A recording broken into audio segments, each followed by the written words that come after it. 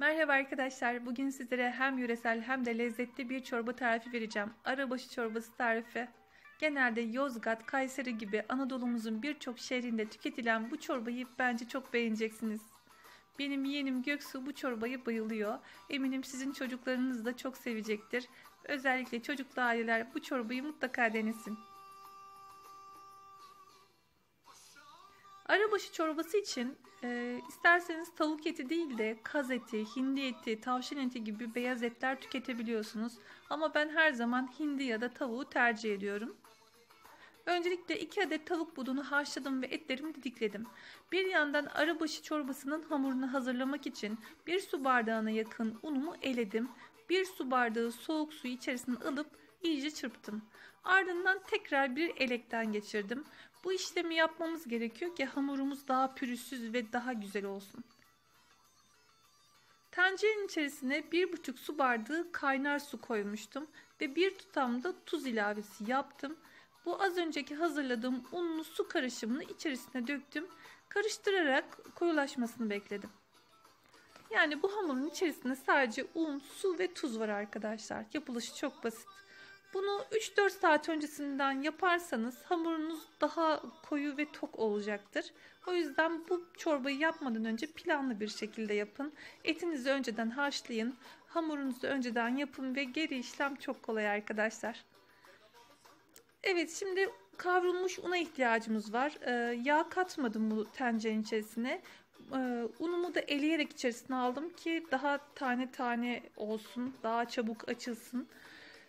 Kavrulmuş unu bir kaseye döktüm ve yine aynı tencerenin içerisine bir yemek kaşığı kadar tereyağı ve biraz zeytinyağını koydum.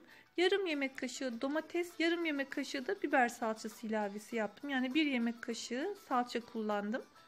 Onu da güzel kavurduktan sonra tavuk suyumun hepsini içerisine boşalttım. Bu tabii ki e, sizin tercihiniz. İsterseniz e, daha az da katabilirsiniz. Ben hepsini yaptım. Çünkü bir tabak yiyen ikincisini istiyor arkadaşlar bu çorbada. Bir su bardağı kadar soğuk suyun içerisine az önceki kavurduğum e, unumu içerisine aldım. Yani 4 yemek kaşığı kadar koydum ilk aşamada. Eğer gerektik, e, gerekirse yani e, çorbanızın kıvamı eğer böyle yoğun değilse biraz daha ilave yapabilirsiniz benim gibi. Evet salçalı karışımı bu unu içerisine koydum ve tavuk etlerini içerisine boşalttım. Yaklaşık 15 dakika kaynattım arkadaşlar. Biraz da tuz ilavesi yaptım. İçerisine baharat atmıyoruz. Çorbanın kıvamı gözüme hiç e, iyi gelmedi. O yüzden biraz daha unla koyulaştırdım. E, çok da koyu yapmayın ki e, çünkü soğudukça koyulaşacak arkadaşlar. Tabağa aldıktan sonra pul biber ve bol limon suyunu ihmal etmeyin. İnanın bunlar çok lezzet veriyor. Tabi çocuklarınıza pul biber koymasanız da olur.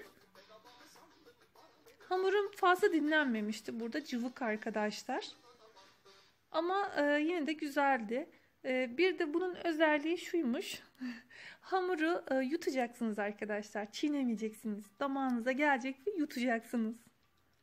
Bakın burada hamur daha tok duruyor. Ekmek yerine hamurla tüketilebilir.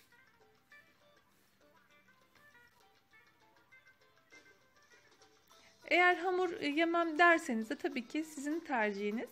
Ama ilk defa yapacak olanlar bence usulüyle yapsın. Bir de böyle deneyin bakalım. Eğer çorba tarifimi beğendiyseniz beğeni ve yorumlarınızı eksik etmeyin. Tabi abone olmayı da unutmayın. Emeklerim boşuna gitmemiş olur.